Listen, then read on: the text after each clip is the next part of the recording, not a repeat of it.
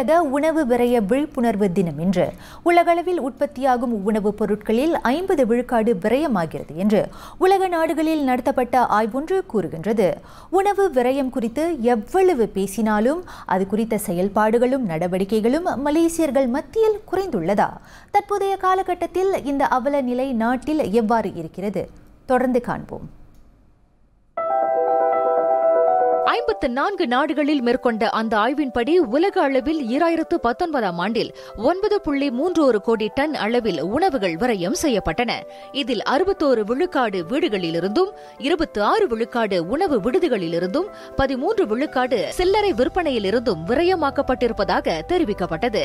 வளர்ந்து வரும் மக்கள் தொகைக்கு உணவை வழங்க தேவைப்படும் விவசாய நிலங்களும் நீராதாரங்களும் படிப்படியாக உலக அளவில் குறைந்து வருகின்றன.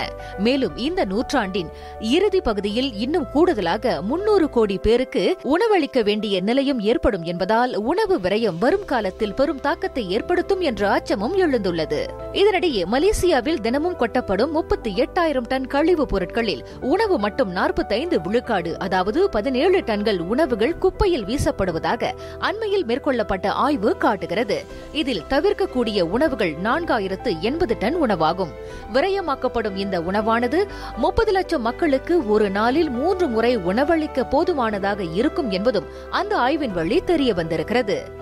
அதேவேளையில் கோவிட் பத்தொன்பது பெருந்தொற்று தாக்கம் மற்றும் அதனால் அமலுக்கு வந்த நடமாட்ட கட்டுப்பாட்டு உத்தரவு காலகட்டத்தில் நிகழ்ச்சிகள் சுபகாரிய வைபவங்கள் நடைபெறாமல் போனதால் உணவு விரயம் குறைந்திருக்கிறது.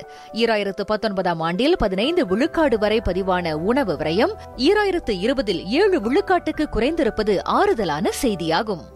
தற்போதைய பொருளாதார நெருக்கடியால் உணவு திண்டாட்டம் ஏழ்மையானவர்கள் மத்தியில் அதிகரித்துவிட்ட நிலையில் உணவு தானங்களின் மூலம் அவை பல இடங்களில் நிவர்த்தி செய்யப்பட்டு வருகிறது.